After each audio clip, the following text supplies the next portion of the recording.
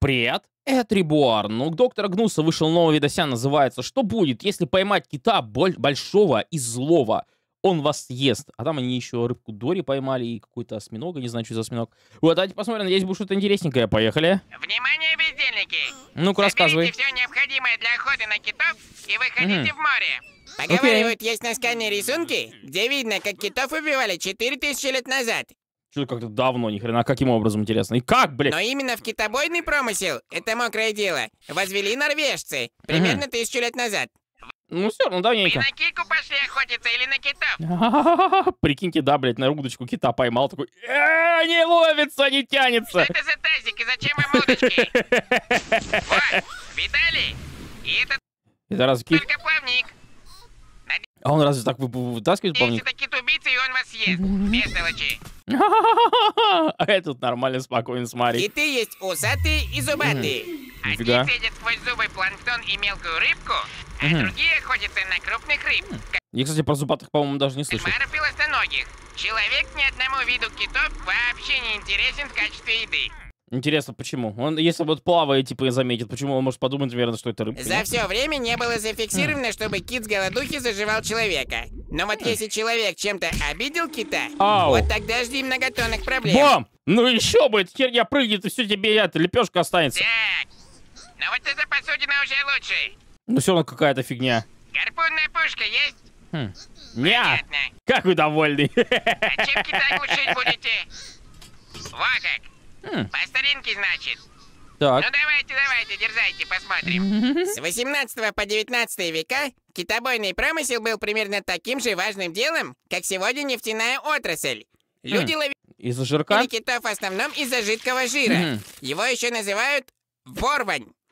Первый раз слышу. Кого ворвал? Этот жир использовали для освещения в домашних и уличных лампах, в производстве кожи и замши, делали из него свечки Ну это то же самое почти, как и и первое. использовали в качестве смазочных материалов.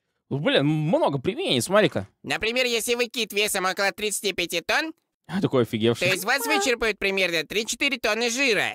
Так мало, а все остальное куда выкидывали, что ли? А если вы еще и кит-кашелот, то вообще не Хм. повезло. В Почему? голове кашелота есть суперценный продукт — спермацет, за которым гонялись фармацевты Сперма. Чё? Почему в голове?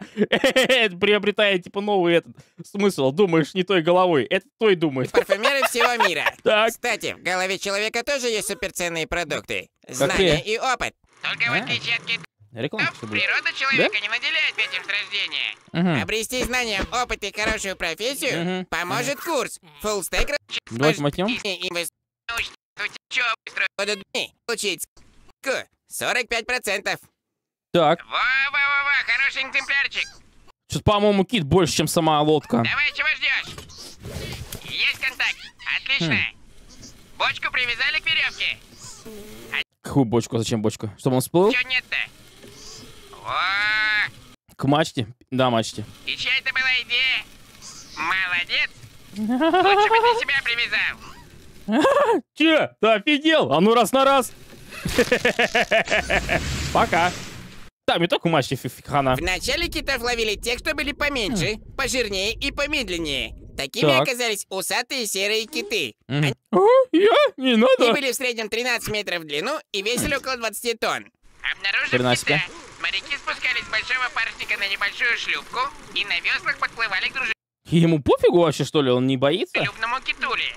Пока Хм. он им показывал свои навыки делать фонтанчик из воды Ой, смотри, как умею. красовался перед ними, моряки в него небольшой ручной гарпун Пипец, блин, так жалко кита, он это, прикалывается с ними, там сидит это и развлекается, а они его веревкой, на конце которой была пустая Ну что делать? И нормально же разговаривали. Кит Ясень Пень офигевал от такого знакомства, и у моряков появлялось два варианта дальнейших событий. Так, Если Кит был с характером, то он переворачивал шлюпку с моряками в холодную воду и топил их всех нафиг. ну и на его месте я бы так же А сделал. если же просто обижался и начинал уплывать, вот тогда у моряков были все шансы поймать добычу. Так, Привязанная к веревке пустая бочка была индикатором и показывала, куда плывет кит. Моряки на шлюпке следовали за ним и ждали, пока тот всплывет, чтобы вздохнуть воздуха. Как только кит появлялся, и как долго он это без воздуха может обходиться? в него еще помню. всевозможные гарпуны, топоры, пики, Капец. сабли, вилки, ложки, зубочистки. Такой зубочисткой его д- д- затыкал. И так продолжалось, пока кит не терял все силы. и Капец, бедняга. Далее, к туше кита подплывал большой корабль. Мгм. И прям там же на месте из кита вытаскивали драгоценный жир, Интересно, каким образом? распасовывая его по бочкам. Мгм. Помимо жира еще брали китовый ус, который использовали в производстве одежды, в производстве мебели, Не знал. ну и так по хозяйству, пока пластмассу не изобрели. Брали, кстати, еще печень. Она была с большим содержанием витамина А. О, Еще было нереально ценно серая амбра. что это такое? Такое твердое воскообразное вещество, которое образовывалось в пищеварительном тракте кашалота. Хм. Его могло быть от несколько десятки грамм до сотни килограммов. Хера себе, блин, его это, кишечник за- за- за- заполнен чем? Непонятно хер какой-то. Как жить-то? Как срать? За амбру грызлись все парфюмеры. Мгм. Им она А, нужна была как фиксатор запаха. Точно. Так. О, ну наконец корабль нормальный. Ну вот это уже другой разговор. И гарпунная пушка, я вижу, есть. Мгм. Отлично, ищите особь покрупнее. Знаете, чем проставился вот этот вот норвежский дядька? Нет, даже не знаю, кто это. Он обрек на гибель всех китообразных. И Серьезно? больших, и маленьких, медленных и быстрых. В Ну-ка. 1868 году Свен. Фойн изобрел гарпунную пушку. Хрена. И она может вот так стрелять ведь? крепилась на большом корабле. Гарпун, которым стреляла пушка, был не просто куском железа, а на его конце был взрывчатый заряд, Капец, да это ж сразу б- его. внутри кита при попадании. Охренеть. Самым практически сразу убивал добычу.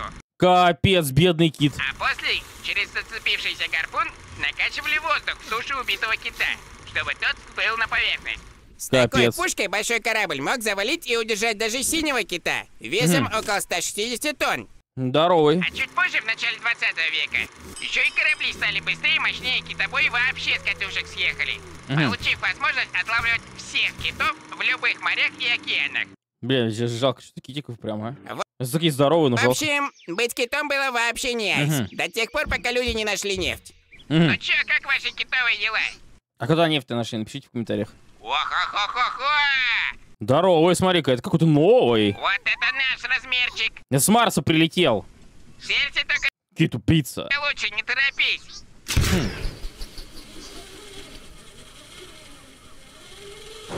Бам. Ой, гарпун вам в бок. А Так. вот звук-то был не к добру. Ать, подводная лодка.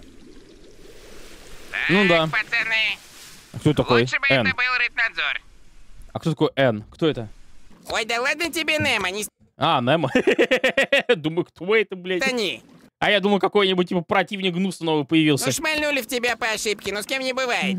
Зачем Как вообще твою обшивку, блядь, гарпун пробил? ты затопил наш китобой? Куда ты забираешь расходников? Э, не-не-не, подожди, какие 20 тысяч лье под водой?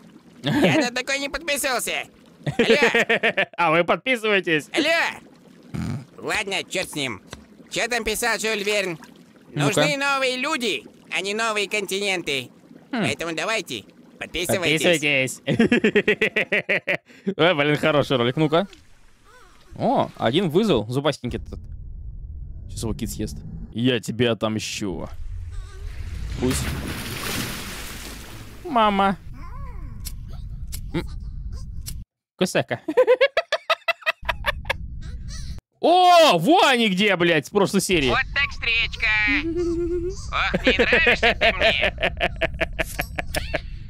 Ай, ну, блядь, вот теперь кончилось. Офигенный ролик получился, веселый, интересный, с новой информацией. Спасибо большое Гнусу, как обычно, было шикарно. Но если вам реакция понравилась, если это так, то лайк, подписка, комментарий. Не забывайте прожимать бубенчики, все интересующие ссылочки в описании. С вами, как всегда, был Реборн. Спасибо за просмотр. Пока.